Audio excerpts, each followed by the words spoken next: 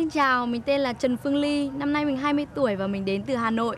Ngay từ khi vòng đầu tiên đi thi thì mình cảm thấy rất lo lắng và hồi hộp. Khi nhận được vé vàng thì cảm giác của mình rất là vui và hạnh phúc. Thí sinh năm nay rất là tốt và mình nghĩ khó có thể đi xa. hơi gió đâu có biết nơi xa vời vời trôi mãi để rồi xa mãi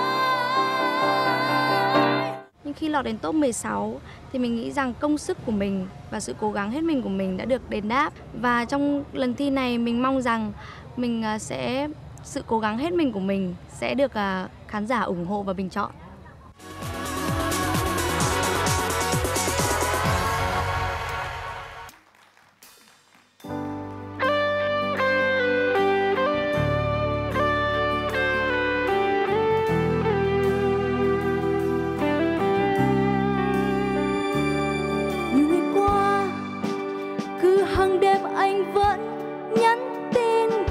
Nơi xa xôi. Rất thật lắm rồi mùa đông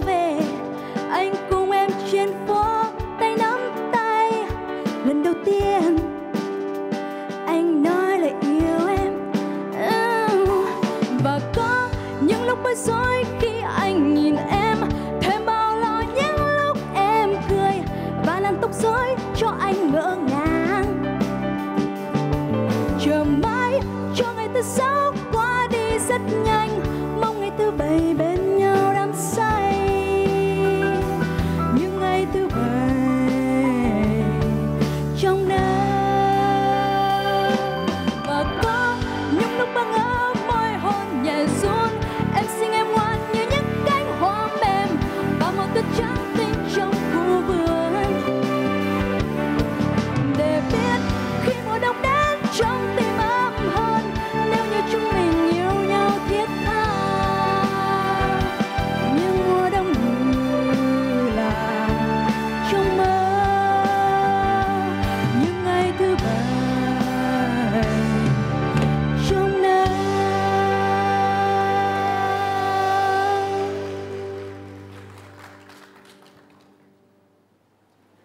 những vòng trước em chưa có rõ ràng lắm về phong cách giữa cái sự trong sáng và sự ướt át của một thiếu nữ.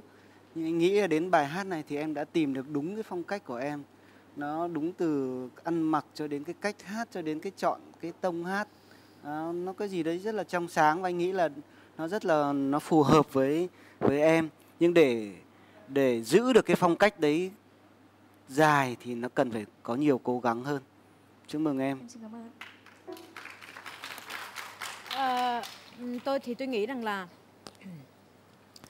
tôi nghĩ rằng là em à, khi mà mình thi á thì mình nên chọn một bài hát nó cá tính một chút nó kịch tính một chút thì là mình sẽ làm à, cho người khác chú ý mình nhiều hơn tại vì nhiều lúc đương nhiên cái sự nhí nhảnh cái sự dễ thương của một bài hát á thì thì thường làm cho người ta không chú ý mình nhiều nhưng mà đây là cuộc thi á nếu em muốn cho người ta nghĩ tới em nhiều hơn thì em nên làm cho mình có một gì nó nổi bật hơn? Chị nghĩ là thế. Dạ em xin cảm ơn. anh thì à, anh anh thì anh thấy là ở đây còn có nhiều kịch tính rồi nên em đừng kịch tính nữa thì có khi lại nổi bật. Không à, bài này nó chỉ là nhí nhảnh chứ nó không hề có kịch tính tại vì Anh, à, dễ thương thôi. anh cũng thấy em chọn cái bài này nó hợp với em nó giúp vừa sức. Anh nghĩ chứ mà nếu như sức mình nâng được một cái tạ 50 kg mà bây giờ mình nâng 100 kg thì rất là nguy hiểm à, nhưng mà em cẩn thận à, nó dễ thương thì nó cũng dễ trở thành nhạc nhưng mà bây giờ mới xém thôi vẫn còn được chúc mừng em Dạ em xin cảm ơn ban giám khảo. Xin chúc mừng Phương Linh và tôi muốn gặp lại bạn trong những đêm thứ bảy với thần tượng âm nhạc và chúng ta hoàn toàn có thể làm được điều đó bằng cách soạn tin 15 gửi về số 6358. Các bạn hãy nhớ chưa ạ? Hãy soạn tin 15 gửi về số 6358 kể từ 22 giờ đêm nay.